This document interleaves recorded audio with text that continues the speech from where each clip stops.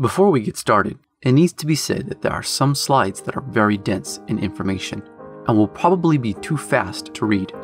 In my research, I found more than I could comfortably put in the timeline, but it was still too valuable to leave out.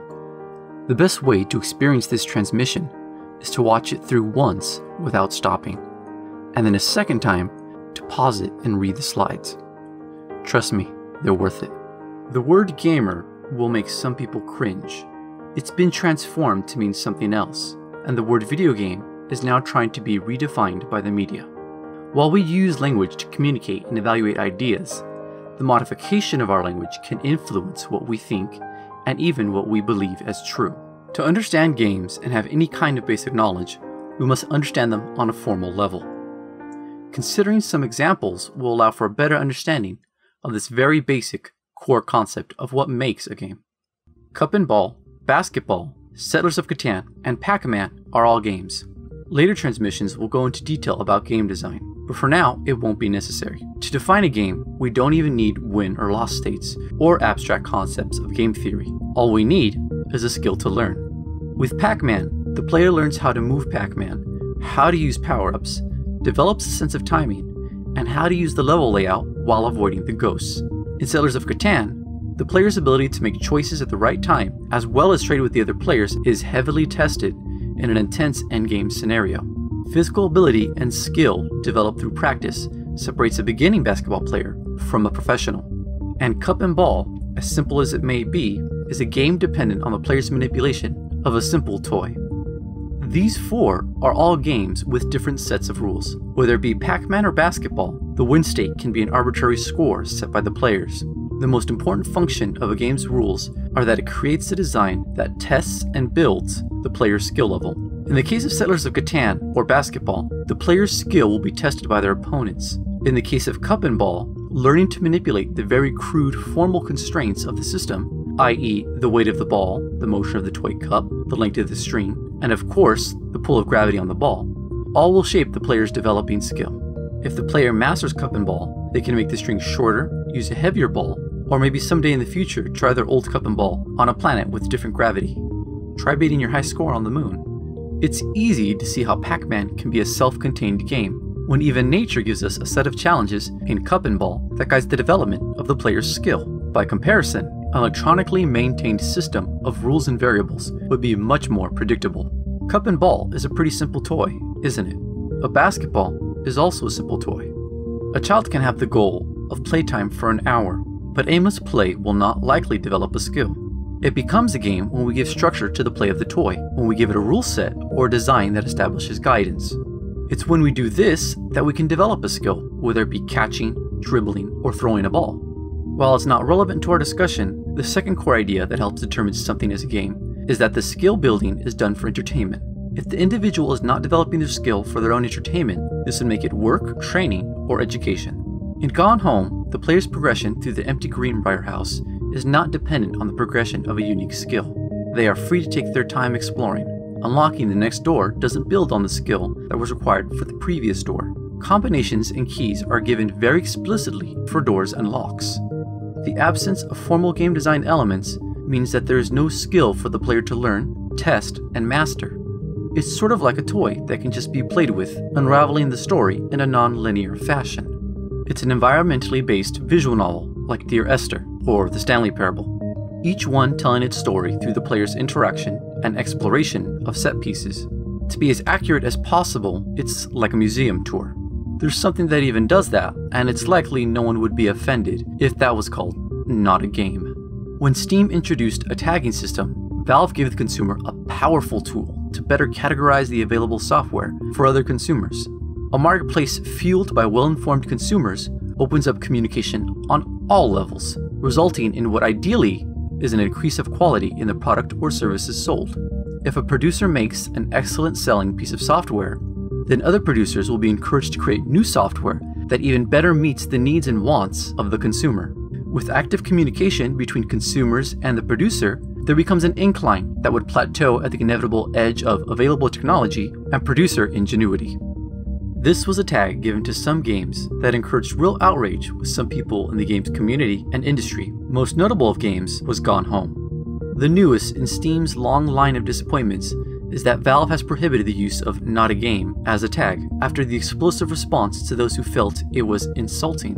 While it's understandable it could be seen as negative, there is real value to tagging these titles as not games when they're really stories.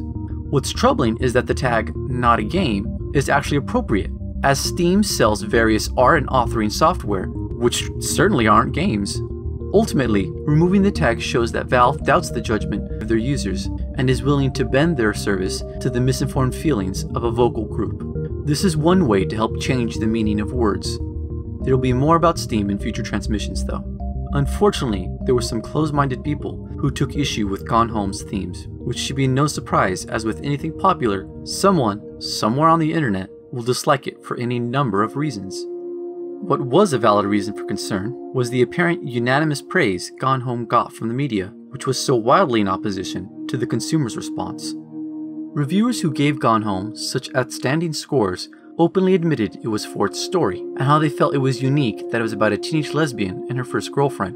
While homosexuality isn't new to video games, and the storytelling isn't exactly revolutionary, other aspects of the title were not particularly strong or innovative. It's clearly suspicious as it received perfect or near perfect scores for just one aspect, and in some cases just because of its subject matter, regardless of whether it did anything else new or that none of what it did do was executed to perfection.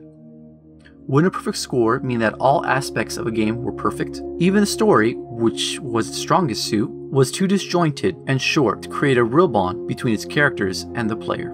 Whether it's for one part of the game or on the basis of the reviewer's emotional experience, this highly subjective approach removes common ground for communication with the audience. The gaming media has proven itself to be lacking in many ways, but what is most problematic is the labeling and silencing of those who do not agree with them. Should audiences be shamed or insulted by the media simply for disagreeing? This was the case with the Devil May Cry reboot and with Mass Effect 3. It's become tolerated and even expected that professionals in the industry act in this way toward the consumers who are supposed to guide the market. Even if the case of Gone Home isn't actually something suspicious, there's a problem when the media looks down on the people it's supposed to be informing and servicing. Reason has been established to doubt the talking heads and blog like articles of the gaming press. And actions like this can only create worse infighting and an even greater rift is it really appropriate to degrade and vilify someone for wanting to play something with game design? In addition, a game like Gone Home is considerably easier to make than a traditional game, and if the press speaks endless praise of a game that is comparatively cheaper to produce, perceived success of it can become a new direction in game development. This could be possible as the industry has demonstrated it's already willing and eager to exploit the consumer in all kinds of pricing schemes. In a push to make games more accessible, gameplay elements have become diluted. These challenges based on skill are an obstacle to those who just want an interactive story. It's easier to just click through dialogue and cutscenes than to overcome gaming hurdles. It seems gameplay may become a victim to profit. Contemporary first-person shooters already aren't very difficult, with features such as regenerating health, heavily scripted scenes, constant checkpoints, and AI partners that will kill your opponents for you. QTEs have become popular as it boils down what could be an intense scene of gameplay to lazy design and button prompts. Telltale has seen such great success with their point and click adventure titles that they'll be managing four different series The Walking Dead, The Wolf Among Us, and soon Borderlands and The Game of Thrones. Despite their tendency to run over budget and miss deadlines, even Double Fine secured crowdfunding to make two new titles, one of which is a point and click. And after closing Irrational Games, Ken Levine said that he and his new team will make narrative driven games for the core gamer that are highly replayable. It's that narrative part that seems suspicious. There's clearly a growing interest in these sorts of titles, so the caution of those who like gameplay isn't uncalled for. Hopefully, the future of games won't be wrestled into submission by story driven titles lacking informal elements after it's been so heavily dominated by an avalanche of first person shooters over the last several years. Having these kinds of software titles isn't a bad thing. The market can benefit from even more choice to the consumer. But being concerned that people have lost sight of the qualities that video games have started with is not wrong to do either, especially when there's a prevailing attitude that shuns them from saying this about any game outside of the Demon's Souls and Dark Souls series. These games are apparently one of the few titles that are still allowed to proudly boast its difficulty, and is the go-to comparison when someone wants to say their game is hard.